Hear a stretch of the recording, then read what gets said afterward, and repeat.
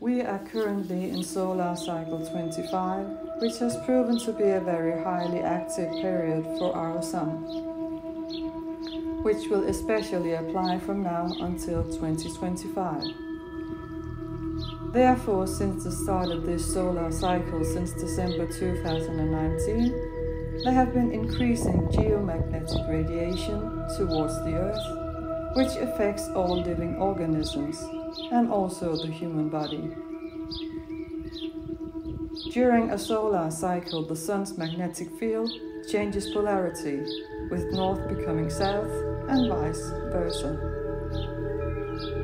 In recent months, the Sun has had great activity around coronal mass ejections, solar storms from the Sun's corona, which contribute to very large magnetism around us.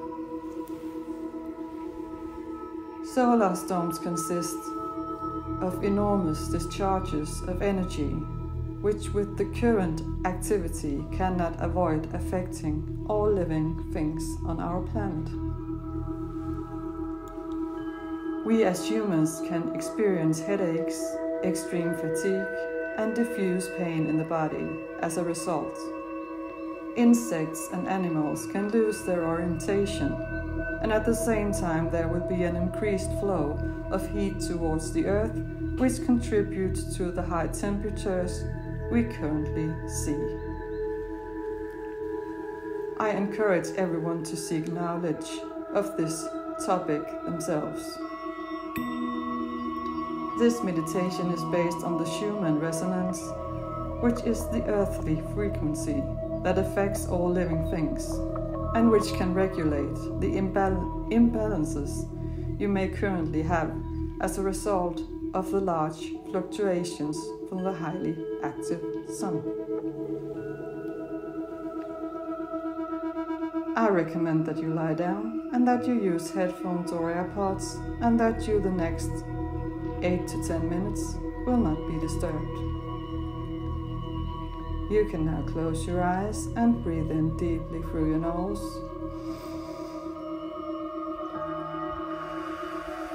Exhale through your mouth.